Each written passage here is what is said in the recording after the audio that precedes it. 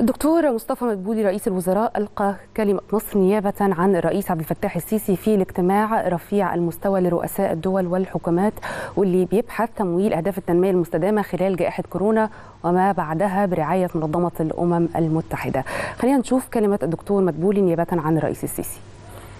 السيد جاستن ترودو رئيس وزراء كندا السيد أندرو هولنس رئيس وزراء جامايكا السيد أنطونيو غوتيريش سكرتير عام الأمم المتحدة السيدات والسادة رؤساء الدول والحكومات. أود أن أتقدم بجزيل الشكر والتقدير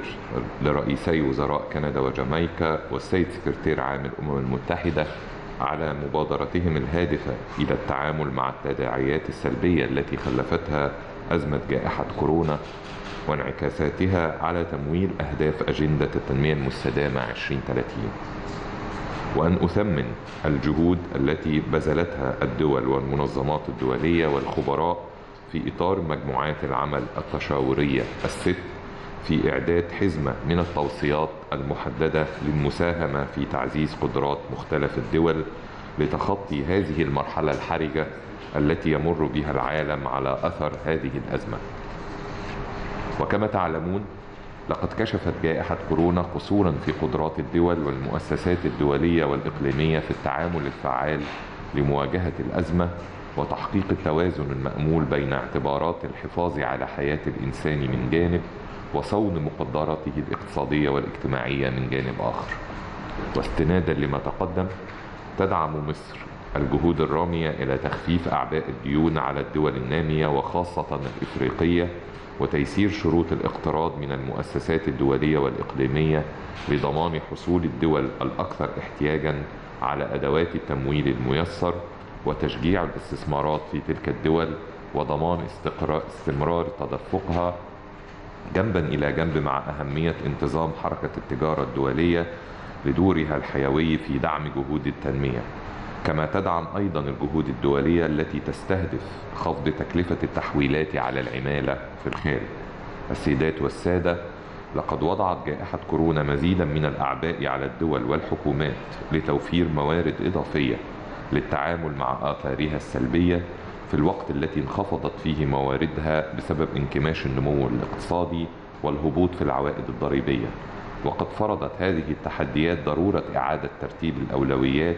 وتحديد حجم الاحتياجات التمويلية والتعاون بين شركاء التنمية سواء على المستوى المحلي أو على المستوى الإقليمي والأممي لتنويع مصادر التمويل من خلال آليات مبتكرة للتمويل مثل السندات الخضراء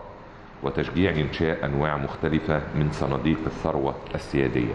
ودعم آليات تخفيف أعباء الديون مثل التوسع في آلية مبادلة الديون لتمويل الاستثمار الموجه لأهداف التنمية المستدامة. وإضافة إلى ما تقدم فقد ترتبت على هذه الأزمة آثار شديدة السلبية على العمالة غير الرسمية. الأمر الذي يتعين معه تكاتف خبرات وجهود دول العالم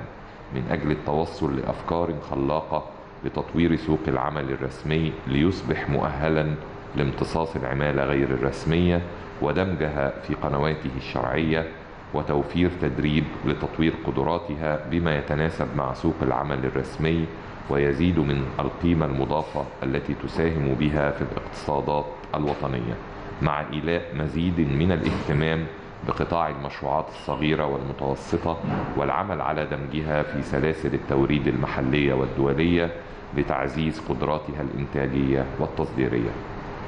وفي الختام أود أن أؤكد على أن التوصيات التي تم وضعها في التقرير المعروض علينا اليوم ما هي إلا بداية لطريق طويل يستلزم التضامن والالتزام من كافة الدول والمؤسسات الدولية والإقليمية وتحديد واضح للأولويات يتضمن تقديم الدعم اللازم للدول الأكثر احتياجا والأقل نموا وإننا اليوم أمام مسؤولية كبيرة